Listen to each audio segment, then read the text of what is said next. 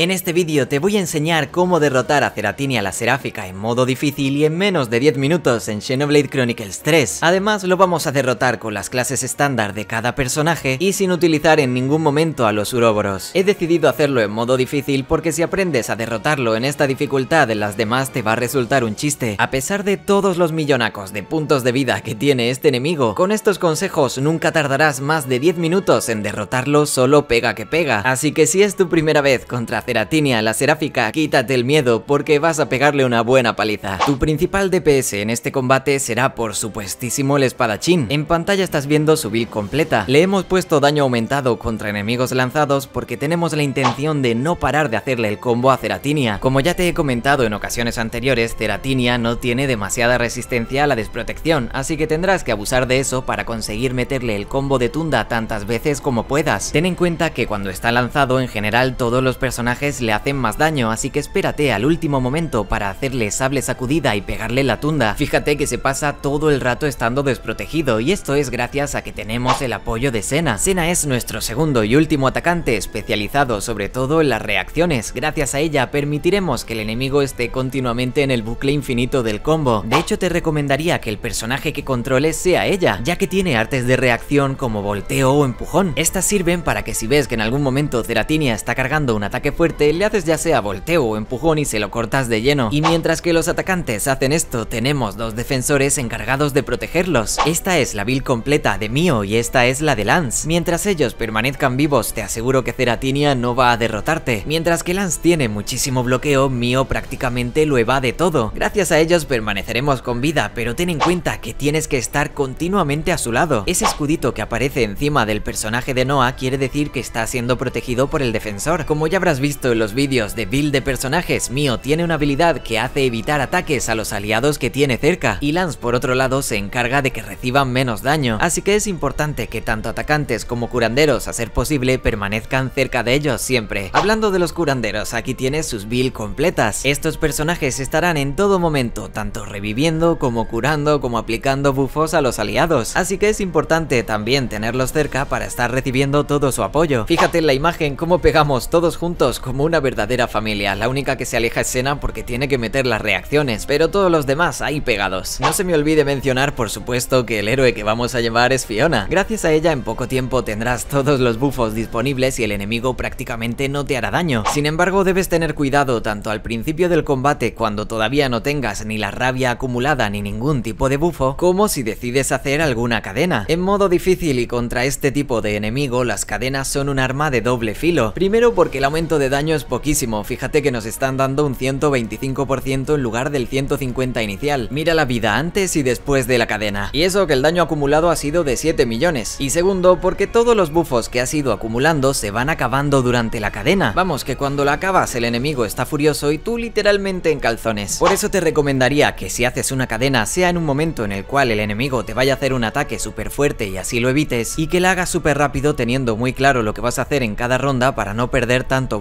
Así si tienes suerte podrás quitarle un buen pellizco de vida y no tendrás tanto retroceso. Si aun con todo esto te sigue costando podrías probar a llevar en lugar del combo de tunda el combo de explosión. Así aunque no le harás tanto daño al menos podrás quitarle la ira y asegurarte que él no te va a matar. Porque cuando se enfada empieza a echarse superación y pasa lo que estás viendo en pantalla. La cosa puede llegar a complicarse bastante. Y este ha sido el primer acercamiento a Ceratinia, pero no será ni de broma el último. Como sabrás este boss tiene una forma de nivel 200 que puede de maneras bastante rápidas y divertidas. Si quieres saber cómo te recomiendo que permanezcas atento al canal. Espero que el vídeo te haya sido de ayuda y nos vemos pronto.